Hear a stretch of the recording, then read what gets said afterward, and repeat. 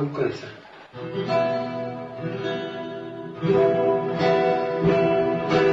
Si nuestra tierra nos pide, vamos a llevar la rienda de todos nuestros asuntos y que se entiendan,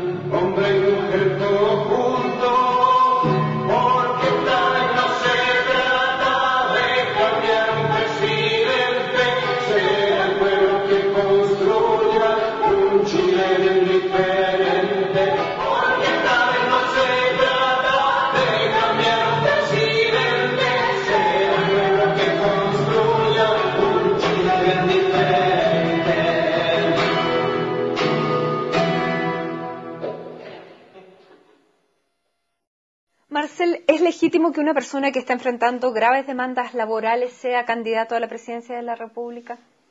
Yo creo que depende de, de cuán justas sean esas demandas, porque algunas pueden ser injustas, pueden ser eh, no, no pueden ser correctas. Si, si, si los tribunales definen que, que tiene problemas graves, digamos, yo creo que por lo menos es un, es un mal antecedente. Es precisamente y puntualmente el caso Parisi. ¿Es sostenible una candidatura así? Yo creo que o sea, si la ley no se lo impide, no, eh, no tiene por qué serlo, pero será la ciudadanía la que juzgue, ¿no? O sea, eso yo no creo que sea un buen antecedente para para que la gente vote por él. Digamos, Porque hay cosas legales y otras legítimas. Sí, hay legalidad y legitimidad. Eh, yo creo que es un problema, no, es, no, es, no, es, un problema menor tampoco. Marcel, pero usted también ha tenido sus problemas con la justicia. Por ejemplo, en marzo de 2011 un tribunal falló a favor de dos trabajadores, dos periodistas del desaparecido Diario 1, declarando injustificado y nulo el despido que se había producido y ordenándole a usted el pago de 19 millones de pesos por eh, conceptos indemnizatorios. Eh, se aplazó esta sentencia hasta el jueves 24 de octubre cuando se decidió embargar un departamento que usted tiene en Ñuñoa. ¿Qué tiene que decir al respecto? ¿Por qué no pagó esos, digamos, esa, esa, ese monto? Sí, mira, ese es un tema muy complicado. Eh, ellos nunca fueron trabajadores, en primer lugar. El no estaban contratados. no, no eran trabajadores. El diario 1 fue, un, fue una aventura política. Nosotros decidimos hacer un diario, fue justo el año 2010, frente al hecho de que venía un gobierno de derecha y había un duopolio en las comunicaciones, que era Mercurio y la Tercera. Entonces, iniciamos un grupo de gente, bastante mayor, de unas 30, 40 personas, y decidimos hacer un diario. Yo hice de, o sea, yo oficiaba como director y otros oficiaban de periodista. Nadie fue contratado, nadie tuvo lugar de trabajo, no había honorario, no había dependencia, no había absolutamente nada, absolutamente nada. Y yo, como tenía capacidad de endeudamiento, me endeudé para financiar esta cosa. Estuvimos como siete, ocho meses trabajando y después el diario no se vendía, no se vendía, no se vendía suficientemente, no cubría. Yo llegué a una deuda de más o menos 20 millones de pesos y decidimos, o sea, lo planteé yo, cerrar el diario y hubo dos que se opusieron y no quisieron cerrar el diario. Pero no había ninguna capacidad de seguir soportando eso y se cerró el diario. Pero hay una sentencia judicial que les da la razón a ellos y ante la sentencia judicial hay poco yo que perdí, Yo perdí, sí, estoy de acuerdo que perdí, pero hay, hay, hay, que, hay que poner las cosas en su justa, en, en lo que es justo. ¿no? Ellos me demandaron con testigos falsos. No pudieron demostrar ni un contrato de trabajo, ni siquiera una boleta de honorario. Lo único que tenían para demostrar que supuestamente habían trabajado para mí era que sus nombres aparecían en el diario como, como, como digamos, los, los periodistas que, escribieron. Entonces, sobre eso falló la justicia. Nosotros alegamos que no, que no, no parecía, que no, no, se podía demostrar eso, que además no fueron despedidos. ¿De qué manera fueron despedidos? Ni siquiera había una carta no había una carta de despido, yo simplemente escribí una editorial que el, diario se cerraba por problemas de financiamiento. A mí me costó 20 millones de pesos de endeudamiento y esos 19 millones de pesos no es que haya sido 19 millones, sino que fue mucho menos, pero como pasó el tiempo...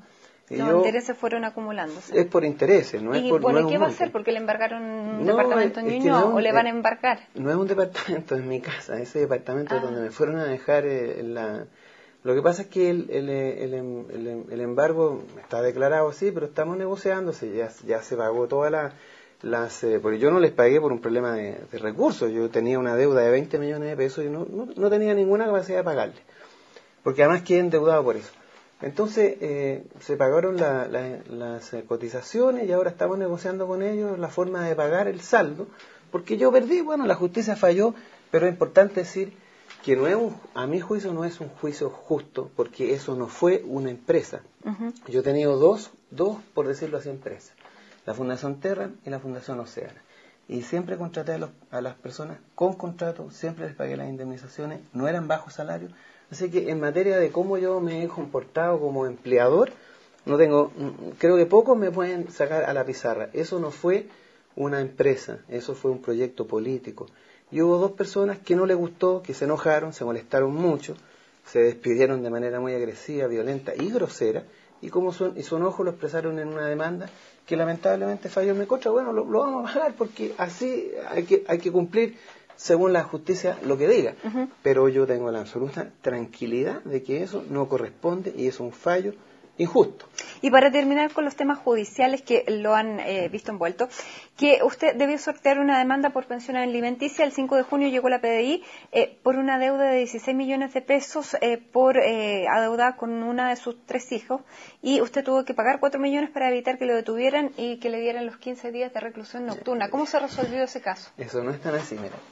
El tema es el siguiente yo, bueno, me separé y llegué a un acuerdo con, la, con, eh, con mi ex mujer para pagar una pensión. Esa pensión incluía una casa completa, que de, de arriendo solamente cuesta un millón y medio por lo menos. Yo iba a pagar la, la salud, les pagaba el teléfono y además de todo eso, 700 mil pesos. Pero en, en determinado momento yo no le pude pagar y una hija mía se vino a vivir conmigo. Entonces yo le pagué esos 16 millones, yo estaban pagados. Lo que faltaba por pagar era lo que, lo que correspondía a mi hija que estaba viviendo conmigo. Yo hice una transacción con ella en donde ella me conmutaba esa deuda porque no corresponde que yo le pague a, a mi ex mujer por una hija que vive conmigo y que la tengo a cargo. Entonces, en el momento en que ella se entera de que yo había llegado a este acuerdo con mi hija, ella hace todo el ejercicio para que antes, antes de que el tribunal sancionara este saldo, llegó la PDI, entonces tuve que pagar lo que faltaba por, por, por, ella. O sea, y ahora yo estoy pagándole pensiones a ella por mi hija que vive conmigo. A mí me parece totalmente injusto, pero así es la justicia y una vez más la, opera de manera que no, no corresponde. O sea, yo no tengo por qué pagar pensión a mi ex mujer por mi hija que vive conmigo, de la cual yo me hago responsable. ¿Y eso sigue en tribunal o usted decidió pagar o sea, O sea, hay que pagar porque si no hace exactamente lo mismo. Entonces yo estoy siendo hoy día sujeto de una injusticia tremenda porque para hacer eso tengo que demandarla, hacer un juicio, y una cosa que realmente no, en estos momentos no tengo muchas ganas de hacer y sigue operando un, un nivel de injusticia que no es menor, digamos. ¿Y cómo es la relación con sus hijos? Eh, mira, yo siempre tuve buena relación con mis hijos, muy buena relación con mis hijos, hasta que me separé. ¿no? Eh, hay, con una que no, no, quiere saber nada de mí, que no le gustó, eh, tiene 26 años. el otro, mi hija segunda, digamos, nunca perdí el vínculo con ella y, y, muy buena relación. Y con mi tercer hijo también tengo buena relación y y eso, pero igual se vive, La segunda vive conmigo acá. ¿Y qué edad tiene ella? 23 años. Ah, ya salieron del colegio. Hay queda un hijo en el colegio. 18. Tiene 18 años, ya son mayores de edad, entonces ahora lo que voy a esperar que termine la campaña para eh, hacer una acción judicial que me permita mantener mis obligaciones, no con la ex mujer, sino que con mis hijos. Porque la las pensiones son con los hijos, no es con la ex mujer. Entonces, ya todos mis hijos son mayores de edad, 18, 23 y 26 y yo espero vincularme con ellos en la relación, porque además yo también tengo que decir una cosa, mira, yo eh, si hay algo que eh, sé que he hecho bien, es mi responsabilidad como padre. ¿Cómo se encuentra como papá? Yo encuentro que he cumplido eh, cabalmente, y más que cabalmente. Yo no solamente durante 23 años que estuve casado con mi ex mujer, cubrí todas las necesidades al 100%, pero todas, de todas, de todas, al 100%. y no en medida menor.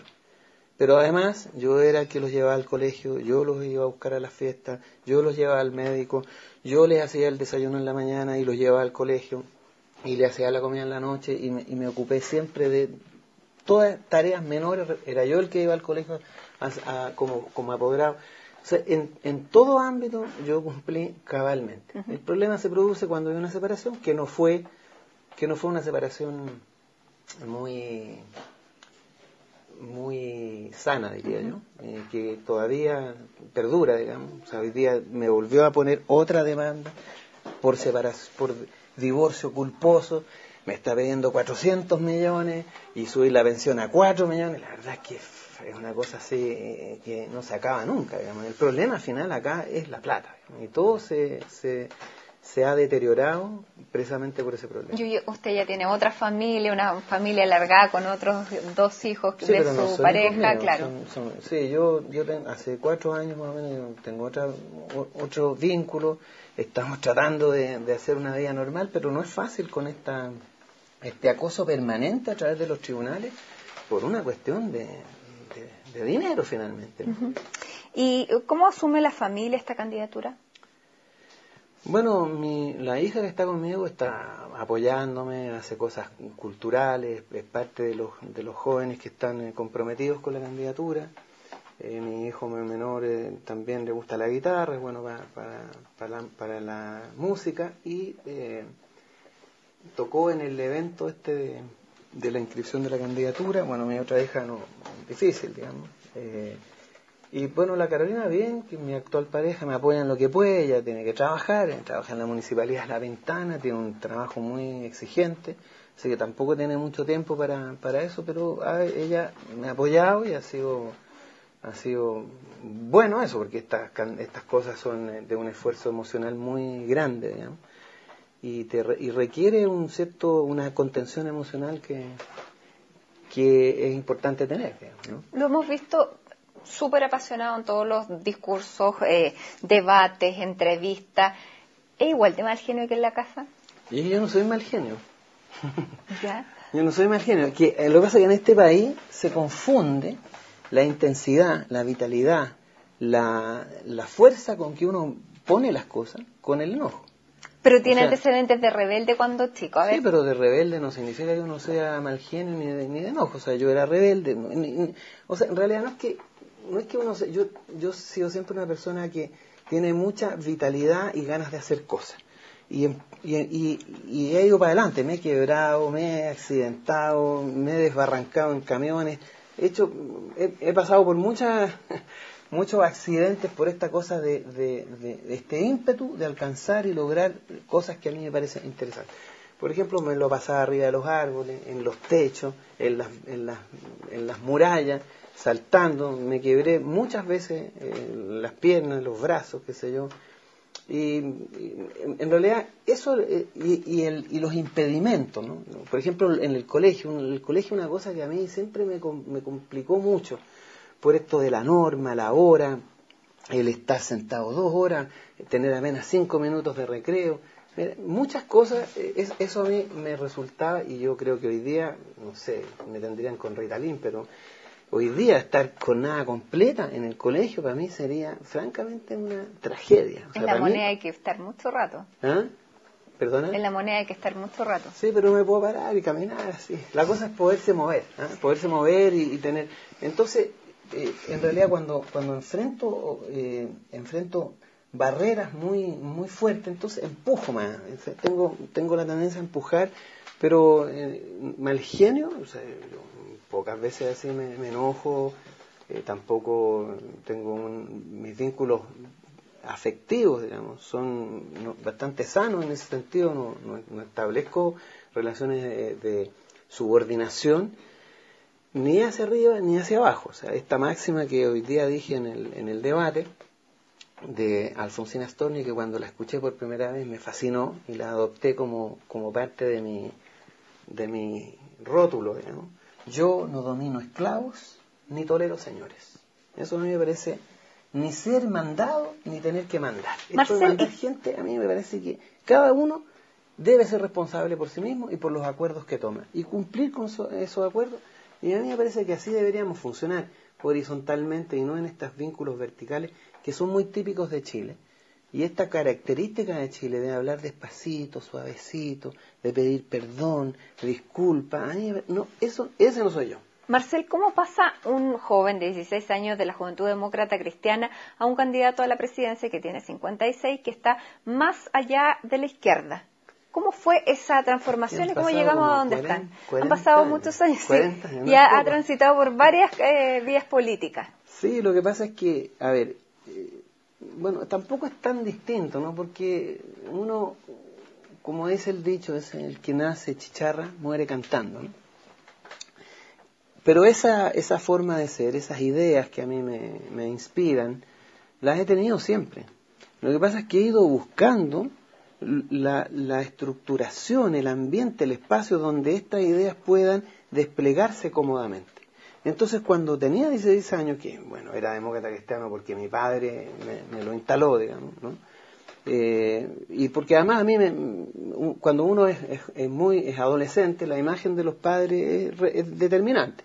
Y además los valores me parecían bien, o sea, la, democracia cristiana de entonces era reforma agraria, revolución en libertad, socialismo comunitario, eh, sindicalización campesina, eh, chilenización del cobre, o sea, eh, más o menos lo mismo que hoy día estoy pensando. ¿no? Lo que pasa es que cambia la democracia cristiana y está el periodo de la dictadura. Y eso marca mucho, ¿no? Porque uno se enfrenta a una realidad brutal desaparecidos, violencia, tortura, exilio. Y eso obviamente te, te, genera un, impacto, o sea, algo tienes que hacer frente a eso y, modela mucho tu pensamiento. Y, además como yo siempre me ha gustado mucho la, eh, lectura, el estudio, el fundamentar lo que yo pienso, fui evolucionando hacia miradas más críticas del capitalismo. Porque la, la, centralidad para mí en relación al pensamiento que tengo es eh, este sistema que nos gobierna, en el que estamos insertos y que tiene ciertas condicionantes. Bueno, en mi proceso de estudio, de reflexión y de compromiso político, me voy acercando mucho más a posturas críticas y muy críticas del capitalismo. Ahora, pero en esa línea, ¿cómo se entiende que solo han enrostrado varias veces por un tema político? ¿Cómo se entiende que saliendo de la universidad eh, y participando en este movimiento, Sebastián Acevedo haya asumido un puesto en el Banco Central cuando estaba Carlos Cáceres? No estaba Carlos Cáceres. No estaba Carlos Cáceres, pero era pleno gobierno militar. Que está, no me acuerdo quién era el presidente entonces. Creo que era un, era un era el coronel, no sé, era un militar el que está, el que era presidente. ¿Cómo se entiende eso? Porque era un trabajo, o sea, la gente supiera el trabajo que yo tenía. Cuando llegué a trabajar al Banco Central, yo tenía que anotar, eh, escribir, era un trabajo administrativo básicamente, de escribir la deuda de cada operación que tenía banco por, banco, porque era el tiempo de la deuda subordinada, de que el Banco Central se estaba, ah, se estaba asumiendo la deuda de los bancos. Pero asumiendo esa consecuencia política, podría haber sido también fácil, o es que no era tan fácil buscar otro trabajo, pero algo que estuviera más en la línea de su pensamiento político. Y claro que lo busqué, pues, pues es que lo que pasa es que uno no trabaja donde quiere, sino que trabaja donde puede. Esa es una realidad de todo trabajador. Y yo postulé a la CEPAL, postulé a la Universidad de Chile, en la Universidad de Chile no quedé porque tenía, tenía tradición de, más bien de izquierda. ¿Y cómo quedó entonces en el Banco Central? Porque el Banco Central, eh, hay cierto nivel de profesionales que la cuestión política no, no les era relevante. ¿Qué edad tenía usted? Tenía 25 años. ¿Era irrelevante en esa época entonces o sea, yo no, su militancia, su posición política? Yo, yo tenía eh, trabajo político, pero no, no tenía figuración política, ni tenía cargos políticos. Y yo busqué trabajo en, en tantas partes, pero además el Chile de esa época yo, por ejemplo, no cuelgo mis, eh, títulos universitarios porque fueron firmados por un rector militar. A mí me da vergüenza que un rector militar haya firmado mi título de ingeniero comercial o de economista eh, o, de, o de licenciado, licenciado en economía. El, el, país en ese entonces era una dictadura. Entonces, donde tú trabajaras, yo me acuerdo que haber, haber, estado trabajando dos meses en la Universidad de Santiago y me fui precisamente por, por las restricciones que la universidad me instalaba. Fíjate que en, esa, en la Universidad de Santiago me llamó el, el, decano y me exigió, me acuerdo en esa época, que me, pusiera corbata y me cortara la barba. porque eso así se trabajaba cuando habían rectores militares. Yo le dije, ¿sabes qué? Eso yo no voy a aceptar. Y me fui, tuve dos meses. Después volví a buscar trabajo y encontré el Banco Central y nunca me pusieron ese tipo de problemas. Ahí pudo seguir trabajando con barba. Con barba y sin corbata. en realidad entraba con corbata, me la sacaba adentro y después me la ponía más ¿Y cómo se fue del Banco Central? Porque me, yo, en realidad yo no, a mí no me gustaba, yo, yo esperaba estar muy, muy poco tiempo ahí, porque yo necesitaba trabajar, había que trabajar y la única parte que encontré trabajo fue ahí, pero además yo tenía un trabajo político que era muy distinto al del Banco Central. Y mi trabajo en el Banco Central era muy técnico, o sea, era una cosa de, de deudas, de informes, de deuda externa de los países latinoamericanos, así que no, en términos de compromiso ideológico no había nada. Yo lo que yo en tanto entré al Banco Central, me acuerdo haber estado en una reunión con eh, Humberto Vega, que era el director del programa Economía del Trabajo, y él me, lo conocía ahí, me invitó al, al PED, yo fui allá muchas veces, conversé con él, y, él me ofreció una beca para irme a estudiar a la Universidad Católica de Lovaina. ¿Usted es católico? Eh, era católico. ¿Y ahora?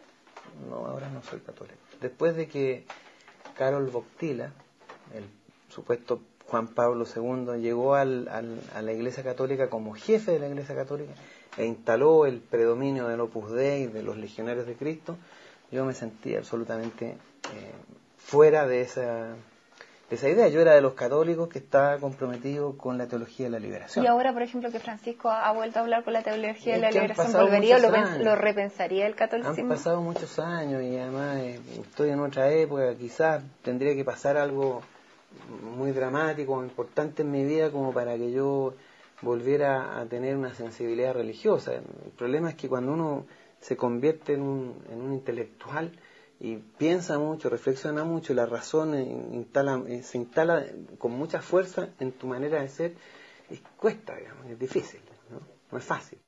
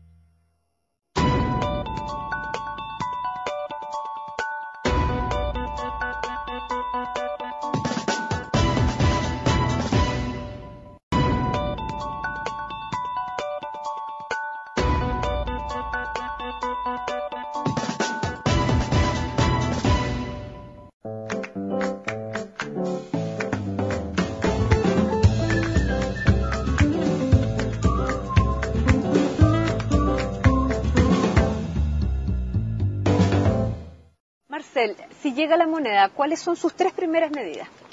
La primera es eh, convocar un plebiscito para preguntarle a los chilenos si están dispuestos a renovar su carta constitucional sobre la base de, un, de una convocatoria y la designación de una asamblea constituyente, designada por los propios chilenos a través de un proceso democrático de elección de delegados. Y la idea es que esta, que esta asamblea de representantes redacte una nueva constitución y sea em, aprobada por un plebiscito, referéndum, y a partir de ese momento todas las nuevas autoridades deben reelegirse en sus cargos.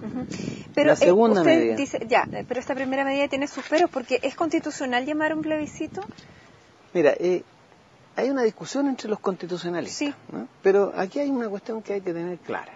Y que, es lo, lo, raro de esto, ¿no? Porque si en una dictadura fue posible convocar a un plebiscito para cambiar la constitución, aprobar una nueva constitución, ¿por qué en una democracia no se puede? O sea, la dictadura es más democrática que una democracia y una democracia más dictadura que una tiene otros procedimientos que eh, impiden claramente actuar como Eso no es así, eso no es así, porque si tú te, vas a la misma constitución, hay por lo menos tres mecanismos sobre las cuales tú el presidente de la República tiene la potestad para llamar a un plebiscito. Está el artículo quinto de la Constitución, que son las bases de la institucionalidad. Es ese capítulo, el capítulo primero, artículo quinto, son las bases de la institucionalidad, es decir, los que te determinan los, principios fundamentales sobre los cuales está construido la estructura de la institución que se llama Chile y la Constitución. Pero después el artículo 15 dice que solo podrá convocarse a votación popular para elecciones y plebiscitos expresamente previstos en esta Constitución y convocatoria por decreto presidencial no está expresamente prevista, solo se prevé plebiscito en un caso muy puntual, según los artículos 117 y 119, y eh, más allá de eso no lo permite. Es que es que eso es, es que eso es lo que pasa es que ahí donde donde hay una hay un error ahí es eh, el, la distinción entre lo que se llama el poder constituyente del poder constituido. El poder constituido son el presidente, son las autoridades, son el Tribunal Constitucional, los senadores. Ese es el poder constituido que es el que constituye el poder constituyente, que es la voluntad. Es, todo tiene que estar fundado en la voluntad soberana del pueblo de Chile, de, la, comunidad. Entonces, si tú, por ejemplo, te refieres, ese es un artículo que limita la convocatoria a plebiscito, pero cuando se refiere a reformas constitucionales, porque en el artículo 32 inciso cuarto, te dice que solo podrá llamar a plebiscito en los artículos, en lo que está establecido en el artículo 128. Y en ese mismo artículo, en, ese mismo capítulo, que es el capítulo 15, dice claramente que el presidente puede, puede hacer una reforma constitucional. Y esa reforma constitucional puede ser, por ejemplo, que el presidente pueda llamar a plebiscito. Bueno, entonces y si eso llegara a ser, si eso llegara a ser estar en litigio con el Parlamento, se resuelve cómo, dice el artículo 128, llamando a plebiscito. Incluso el artículo 32. Pero para su primera medida entonces va a tener que llamar primero a los constitucionalistas para poder eh, no, porque, mira, eh, interpretar bien la constitución y no salirse. No, porque hay un principio constitucional fundamental y que ellos no pueden obviar. Y que es que el, antes, que, antes que todo, antes que la Constitución, antes que el Estado, antes que la sociedad, está la voluntad soberana del pueblo de Chile. Y nadie puede negar el derecho que una autoridad como el presidente de la República, en representación del pueblo, convoque, convoque precisamente a ese poder que constituye, que instruye, que crea, que funda la nación y el Estado y que es la voluntad Pero usted dijo que lo iba a convocar un plebiscito en 20 minutos. Por eso. Yo creo que le va a costar un poco más con todas estas disquisiciones. Pasemos a la segunda medida. Porque, porque yo simplemente voy a firmar un decreto convocando un plebiscito. Y yo creo que va a ser difícil. Yo creo que hasta O sea, la firma le puede resultar rápida, pero claro, pero después llevarlo a la práctica. Bueno, mira, yo creo que es muy difícil, es muy difícil que las autoridades desconozcan un principio constitucional, que es la voluntad soberana del pueblo de Chile. Y eso no lo pueden desconocer. No puede una constitución, porque ¿sabes lo que pasa? Que si esta constitución impidiera el ejercicio de la voluntad soberana del pueblo, no sería una constitución, sería un bando militar. Y eso simplemente es inaceptable. Pasemos a la segunda medida, Marcel. Bueno.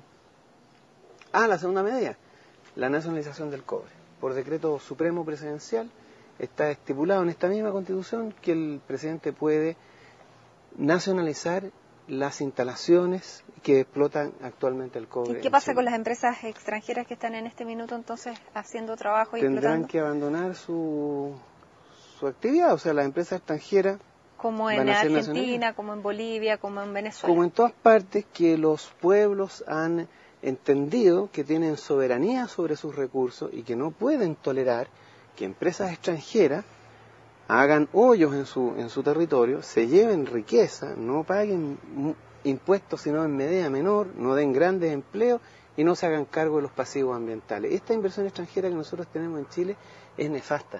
A nosotros nos interesa la inversión extranjera que trae tecnología, conocimiento, que cuando se van te dejan un proceso productivo sofisticado. Pero ¿qué son estas inversionistas extranjeros? Dejan el hoyo, dejan pobreza, contaminación y degradación de las aguas y de los ríos.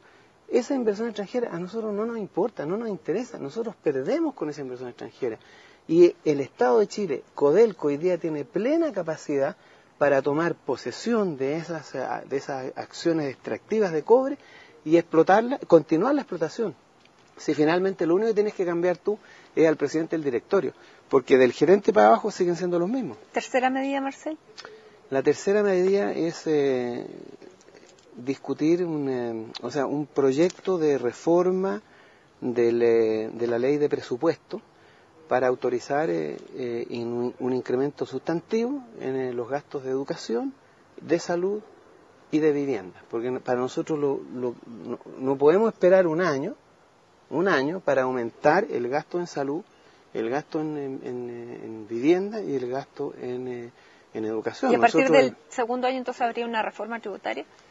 A partir del segundo año, a partir de la, digamos, nosotros esperamos que en seis meses tengamos una nueva constitución, nuevas, nuevo parlamento, nuevas autoridades judiciales, nuevas autoridades locales.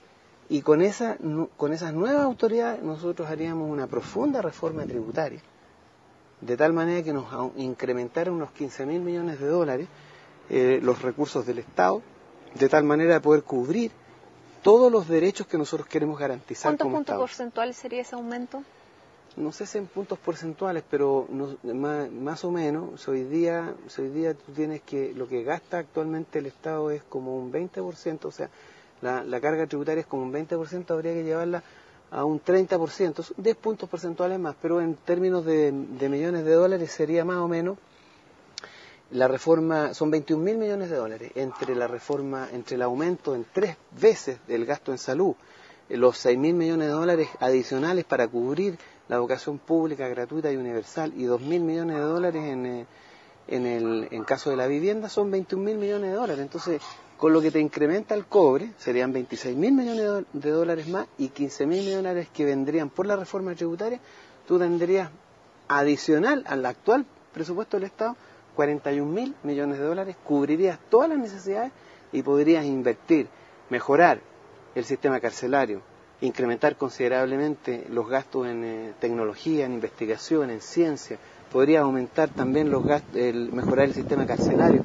Hay muchas cosas que con ese excedente que te quedaría de la reforma tributaria y de la nacionalización del cobre, en que podrías mejorar considerablemente el eh, estatus y las condiciones de, vida. ¿Y usted tendría parlamentarios que votaran a favor de eso? Lo que pasa es que los parlamentarios van a, van a cambiar eh, con la nueva constitución, porque nosotros esperamos que... Pero eso ya requeriría otro periodo legislativo otro periodo legislativo, por eso te digo que una vez aprobado, nosotros esperamos. Entonces usted se piensa reelegir con una nueva constitución porque no le da Yo lo que voy a hacer es poner mi cargo a disposición de la soberanía popular del pueblo y voy a postular de nuevo. Y si me eligen, seré presidente. Y si no me eligen, no seré presidente y vendrá otro. O sea, una constitución con reelección. Lo que pasa es que no, pues no es Que permite la reelección. No, porque sería la primera elección bajo una nueva constitución. Perfecto. Porque la, yo sería elegido en esta constitución moribunda. Y lo que yo postularía en, en, un nuevo sistema político, que sería una constitución democrática, y con esa constitución yo podría ser elegido, y será el pueblo de Chile el que diga si quiere reelección o, quiere o no quiere reelección. Yo no voy a redactar la nueva constitución. Marcelo, usted ha hablado de gratuidad en la educación, en la educación eh, básica, superior, universitaria. Sí, gratuidad en todos los niveles. ¿Por qué los estudiantes entonces no están todos con usted? Porque los estudiantes no, no, no, son, no todos piensan igual. Nosotros tenemos. Pero los grandes dirigentes de los movimientos estudiantiles que ahora están apoyando la candidatura de Michelle Bachelet o están apoyando candidaturas, digamos, independientes, eh, eh, Revolución Democrática, ¿por qué no están con usted cuando este tal vez era lo que, el anhelo que tenían ellos? A ver, es que hay que distinguir de los dirigentes de los. Lo, cuando yo. Eh, cuando yo participé como académico en, el, en lo que fue el movimiento estudiantil, mi vinculación no fue con los dirigentes estudiantiles, fue con los, con los estudiantes de base y con los eh, presidentes eh, de las eh, federaciones locales y regionales. Nosotros, con nosotros está la Unión Nacional Estudiantil, que muy probablemente gane ahora la fecha en, en estas elecciones. Ellos son una parte importante, tienen más de cinco federaciones, son, eh, han sido fundamento de lo que fue la dinámica del movimiento estudiantil. Una parte de, ese, de esos estudiantes están con nosotros. Los dirigentes estudiantiles no, no, tienen, no tienen por qué estar, cada uno tendrá su opción. ¿Y cómo califica las opciones que tomaron los grandes dirigentes? Yo creo que son equivocadas porque me parece que estar con incorporarse a una coalición como la concertación con Bachelet y todos sabemos, y los mismos estudiantes saben, el comportamiento que tuvo la señora Bachelet con los estudiantes, me parece que no es, no es muy consistente. Usted los calificó de traidores. Yo no los califiqué de traidores. Yo dije que para muchos estudiantes en la base del movimiento, ellos son vistos como traidores, que no es lo mismo. Yo no dije que pensaba lo mismo. Yo, como sigo yendo a las universidades, sigo, sigo dando conferencias y visitando las universidades, la conversación con ellos me, me, da cuenta de ese, de ese sentimiento que tienen. ¿Y usted cómo lo considera? Yo, como te dije, creo que su opción política, está bien que se hayan metido en política, me parece absolutamente correcto, pero me parece que la opción que tomaron no es correcta. ¿AFP estatal? No, no más de AFP. Sistema de reparto, donde con, acá lo que hay que decir es que la AFP son una máquina de pobreza. Es que es absolutamente impresentable que hoy día tengamos un sistema que genera mucho lucro, ganancias gigantescas, y que al mismo tiempo le dé a los trabajadores pensiones inferiores a los 100 mil pesos. ¿Usted está en una AFP? Por obligación, pues, pero yo cotizo solamente cuando eh, he estado contratado por trabajo, pero cuando tengo trabajo independiente, ni, ni por casualidad pondría plata en una AFP. Ahora hay cerca de 3 millones de chilenos que son clase media, no todos son ricos, que están en el sistema de ISAPRE, que ven aumentar sus planes de salud cada vez que van eh, incrementando la edad, que son mujeres y que eh, ven también aumentar eh, los ingresos de las ISAPRES. ¿Usted qué propone para las ISAPRES? Mira, respecto a las ISAPRES, no, no proponemos mucho, porque en realidad a lo que nosotros nos importa es fortalecer el sistema público de salud. Las ISAPRES existen hoy día porque el sistema de salud público es pésimo. Claro, pero le van generando nuevos pacientes al sistema público cada vez que la gente se va enfermando o se va poniendo vieja. Entonces se está recargando el sistema público porque las ISAPRES no están cumpliendo bien su rol con la gente que deja de hacer negocio. Exactamente. Entonces, ¿qué haría? Por eso, nosotros vamos a aumentar en tres veces el presupuesto de la salud pública. Queremos llevar el gasto público de 2,5% del Producto Interno Bruto a 7,5% construir una red, con esos recursos, construir una red de hospitales a lo largo del país. Estos hospitales te van a dar a ti toda la salud que necesitas, psicológica, dental y general, con médico, con suministro. Entonces, tú con el 7% de tu sueldo vas a tener derecho a toda la salud que necesitas. Por lo tanto, tú no vas a hacer no, vas a tener el comportamiento absurdo de ponerte en una ISAPRE que tienes que pagarle no el 7% de tu sueldo, sino que pagarle a veces hasta el 20% de tu sueldo y más encima hacer copago y pagar todo, todo el copago es tremendo. Entonces, nosotros decimos que si fortalecemos el sistema público, incrementamos considerablemente el presupuesto, dotamos de capacidad a los hospitales y creamos nuevos hospitales, todo chileno podrá asistir a un hospital, cubrir sus necesidades y ya no será necesario tener una ISAPRE. porque hoy día está en una ISAPRE o está en FONASA? No, yo estoy en una ISAPRE porque el FONASA no es, no es salud. O sea, como yo te decía, las, eh, las ISAPRE existen porque el sistema público prácticamente no genera salud. Hay que esperar 24 meses por especialista. Entonces, obviamente, te obliga, la, la calidad del sistema público te obliga a buscar pagar adicionalmente para cubrir las necesidades de salud de tu familia. Pero en la medida en que tú tengas un sistema público de salud que cubre todas tus necesidades, no necesitas más a la ISAPRE.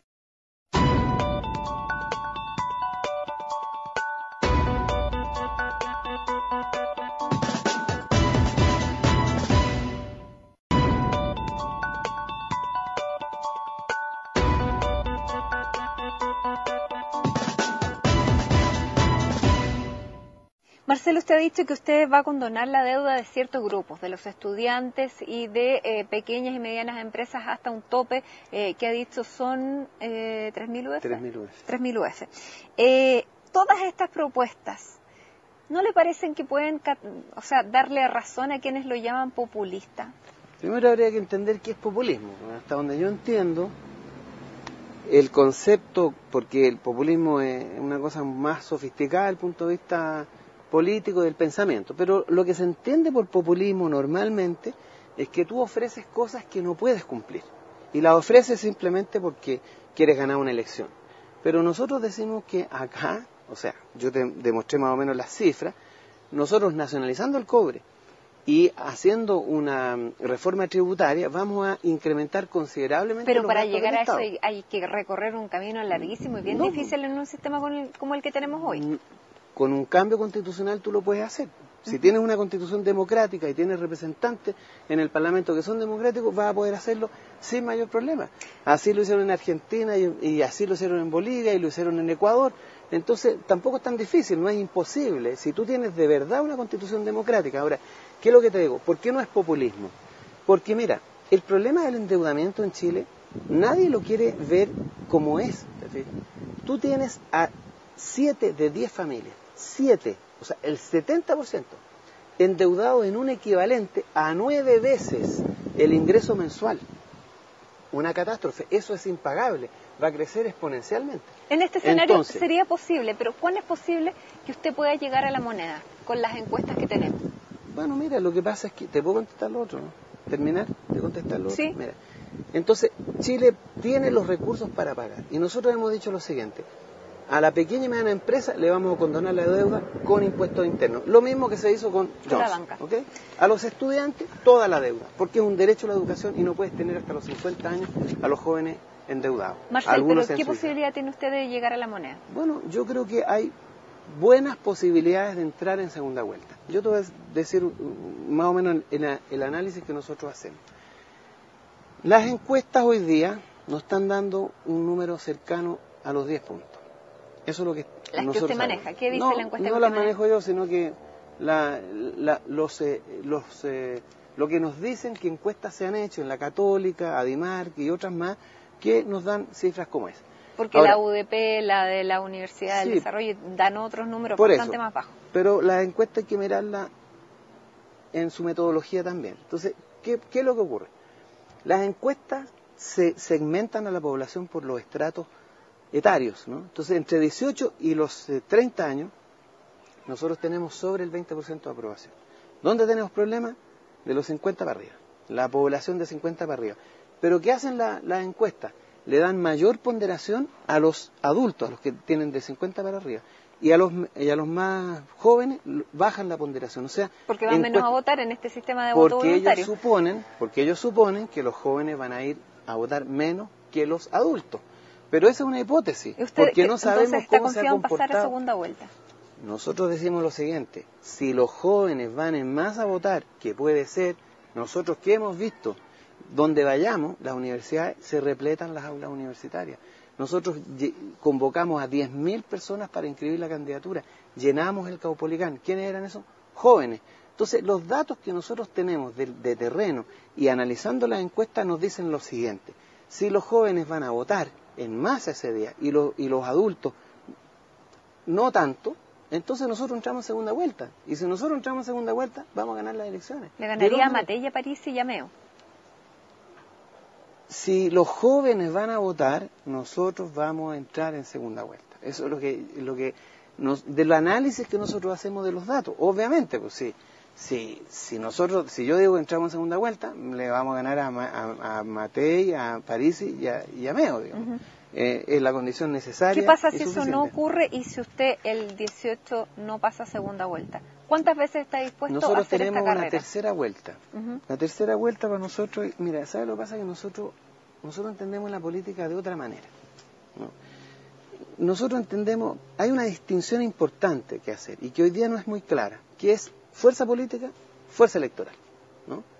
Fuerza electoral, Marco Enrique Minami, 20%. Hoy día, menos del 10%. ¿no? Se derrumba. Fuerza electoral, podríamos llamar Parisi, ah, le dan como el 12, 13% a alguna encuesta, con lo que ha pasado hoy día, probablemente va a disminuir. Porque es una fuerza electoral, gente que vota por ti. Pero no es gente que se moviliza por ti. Si tú haces una convocatoria a un, a un evento masivo, esa gente no va a ir a votar. Nosotros lo que hemos hecho es construir una fuerza electoral y que va a tener una cierta una, va, a tener una implicancia como fuerza eh, una fuerza política creamos nosotros que va a ser también fuerza electoral y esta fuerza electoral qué es lo que es tenemos 350 comandos a lo largo de todo Chile lleno de jóvenes voluntarios más de mil profesionales 250 dirigentes sindicales más de 100 bandas escritores, escultores, músicos, y tenemos representación en prácticamente todos los países del mundo y más de 20 organizaciones en este movimiento Toda la Moneda. Y movilizamos gente, al Caupolicán, eh, mañana, eh, mañana, no sé, pero tuvimos también el estudiantazo. ¿Le faltó el Partido Comunista, Marcel? Eh, no, es que sabes lo que pasa que mira, acá cuando uno tiene que construir fuerza política, nosotros en seis meses, fíjate, esto lo hicimos en seis meses, construimos una fuerza política que esto no se había visto nunca antes, en los últimos 30 años, una nueva fuerza política. Entonces nosotros estamos luchando por llegar a ser fuerza electoral y poder entrar en segunda vuelta. Si eso no nos resulta, nosotros vamos a seguir, vamos a continuar trabajando en, fortalecer esta fuerza política y convertirla en una fuerza electoral maciza. ¿Un partido político? Un movimiento, porque este movimiento tiene distintos partidos y muchos de esos se van a se van a inscribir como partido. La idea es crear un movimiento político de tal manera que este movimiento político llegue a ser una fuerza electoral tal cual hoy día es una fuerza política. ¿Le dolió que el Partido Comunista, digamos, la dirigencia del Partido Comunista no lo apoyara? No, no, fuera con la nueva mayoría. Pero fíjate que nosotros nunca ni siquiera conversamos con él. Pero digamos por cercanía ideológica o por propuesta.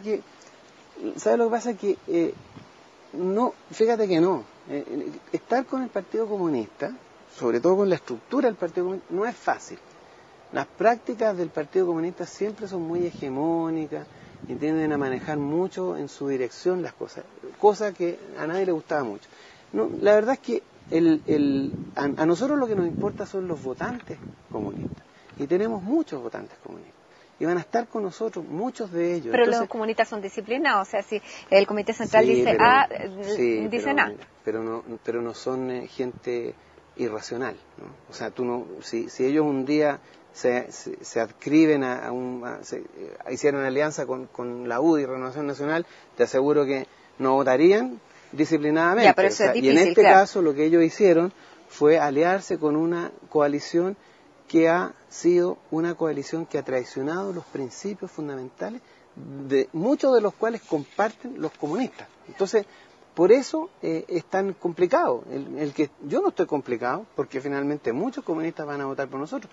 Los que están complicados son el comité central del Partido Comunista, que muchos militantes no van a adscribir al, a, la, alianza que ellos hicieron con, con la concertación. Pero yo lo que te digo, mira, el Partido Comunista como fuerza electoral tampoco es muy, muy cuantiosa, digamos. Por lo tanto, nosotros tenemos vocación de mayoría, nosotros queremos tener llegar al 25-30% de, del electorado y el Partido Comunista nos, nos pondrá 2-3% de eso, nada más. O sea, ¿usted está dispuesto a hacer esta carrera de nuevo en cuatro años más? Nosotros vamos a hacer esto hasta que alcancemos la moneda, porque nosotros nacimos con vocación de poder. La política es poder, no es testimonio. Nosotros queremos el poder, queremos alcanzar el poder y convertir a Chile en una sociedad democrática. Pasar de este nicho de negocios que hoy día somos a una sociedad de derechos. ¿No fue posible llegar a una, alianza con Roxana Miranda, con Alfredo Sfer, que eh, meridianamente tienen más o menos la misma eh, objetivo, la misma visión? Con Roxana no fue posible. Con Alfredo Sfer nunca se conversó. Ellos lanzaron la candidatura. ¿Y por qué no fue posible con Roxana? por las dinámicas de la política, porque aquí habían 20 organizaciones, ellos eran un partido y, no hubo nunca posibilidad de, acordar y definir una, un mecanismo para decidir el candidato. ¿Pero se siente muy lejano Roxana Miranda? No, lo, lo, único, mira, lo que nosotros le cuestionamos a, a Roxana es que ella centra en exceso su discurso lo pone, digamos, exclusivamente, ella está posicionada exclusivamente desde el poblador marginal. Nosotros entendemos que el sujeto para nosotros, donde nos posicionamos, no solo en el poblador marginal, sino que en el trabajador, en el abogado que, que no gana mucho dinero, en el profesor, en el académico, en el estudiante. Para nosotros el sujeto llamado pueblo es mucho más que el poblador, es un segmento grande, que son todos aquellos que debemos vender nuestra fuerza de trabajo para sobrevivir y ganar el pan, digamos, ¿no? Y esa yo creo que es la principal diferencia con ella. Y no fue posible llegar a un acuerdo y ahí hay que hacer eh, las media culpas correspondientes. Pero yo pienso también que en la medida que vayamos fortaleciendo este, esta fuerza política, vamos a terminar en una coalición todos esos sectores. Marcel, ¿cuál es la opinión que tienes en breve, ahora sí que de verdad breve, Evelyn Matei. Yo la encuentro honesta, eh, pero extremadamente ligada a la herencia de Pinochet. Marco Enrique Minami. Creo que tiene problema tiene un problema político fundamental, que hay una indefinición en él entre ser Ominami o ser Enrique. Y eso le marca mucho eh, su, su, trabajo político. Roxana Miranda. Excesivamente eh, marcando mucho su, su alineación con los, con los sectores más marginales y tendencia al, a la victimización, que no, no, me, no me parece muy, muy no, me parece que sea necesario. Tomás Jocelyn Hall. Eh, una persona poco, no sé, poco comprensible, no, funciona mucho con la razón. Alfredo Sfer. Yo lo encuentro eh, una persona honesta, pero excesivamente concentrado en la temática ecológica, o sea, como, como centrando demasiado su, su mirada política desde la ecología y se olvida que en América Latina no solo el problema es ecología, sino que también abuso, pobreza, desigualdad, injusticia. Ricardo Israel. Inconsistente. Michelle Bachelet. Bueno, ella me produce, me produce cierta incomodidad, porque a mí me parece que una persona como ella, vinculada al sufrimiento, de, de, la, de la dictadura, el abuso con los derechos humanos que hoy día esté avalando el modelo económico y político que necesitó torturar y matar gente para instalarse, me parece una inconsistencia brutal. ¿Cuántas reencarnaciones se necesitarían para votar por ello? Usted dijo que ni entre. Unas 500 reencarnaciones. Ya. Eh, Franco Parisi. Bueno, él me parece muy superficial y, poco consistente. Y además me parece que su postura es, es del, arribismo histórico, ¿no? del, profesional aspiracionista, un poco copiando el modelo este norteamericano, ¿no? el, modo de vida americano. Yo creo que, que no es muy consistente con la realidad de nuestro país.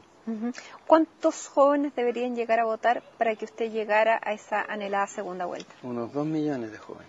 Dos millones de jóvenes. ¿Cómo espera convocar a dos millones de jóvenes? Bueno, estamos haciendo lo posible, recorremos las universidades, tenemos, tenemos una propuesta de, de gobierno que me parece interesante, que es consistente con lo que han sido las aspiraciones, las voluntades y las exigencias de los movimientos estudiantiles. Así que yo creo que por lo menos el discurso está ahí, lo que, lo que cuesta, yo creo que lo más complicado es que muchos estudiantes vean en la política una verdadera posibilidad de transformación. Si no la ven, entonces no pasamos segunda vuelta. Marcel Clot, muchísimas gracias. Muchas gracias a ustedes, pues.